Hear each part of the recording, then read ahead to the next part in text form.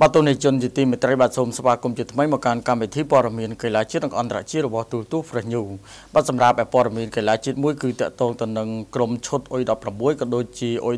18របស់បាទីគឺនៅតែបន្តការប្រមូលផ្ដុំក៏ដូចជាវឹកហាត់តាមធម្មតា បើទោះជា COVID-19 កំពុងតែវាយលុកខ្លាំងក៏ដោយ។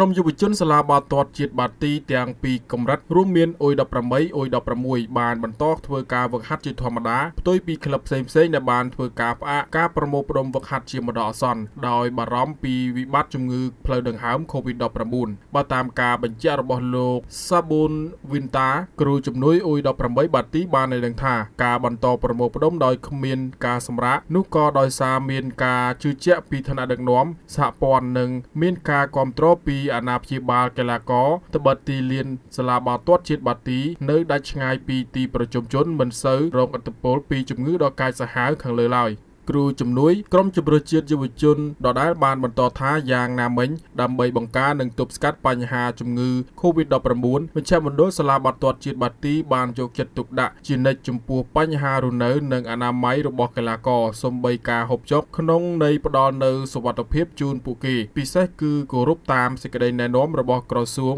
សុខាភិបាល។ គួរបញ្ជាក់ថាក្រុមយុវជនសាលាបាល់ទាត់ជាតិបាទីអ៊ុយ18គឺជាបេក្ខភាពសមាជិកក្របខ័ណ្ឌលីកំពូលកម្ពុជា មួយដែលផ្ទុយពីក្រុមមានមូលដ្ឋាននៅខេត្តតាកែវនោះក្លឹបផ្សេងផ្សេងគឺបានសម្រាប់ការប្រមូលផ្ដុំវឹកហាត់អស់ហើយនៅសល់តែសកម្មភាពវឹកហាត់តិចតួចឬហាត់នៅផ្ទះរៀងៗខ្លួនប៉ុណ្ណោះដើម្បីត្រៀមស្វាគមន៍ការត្រឡប់មកវិញនៃលីកំពូលកម្ពុជា ក្រោយជំងឺ Covid-19 ស្ងប់ស្ងាត់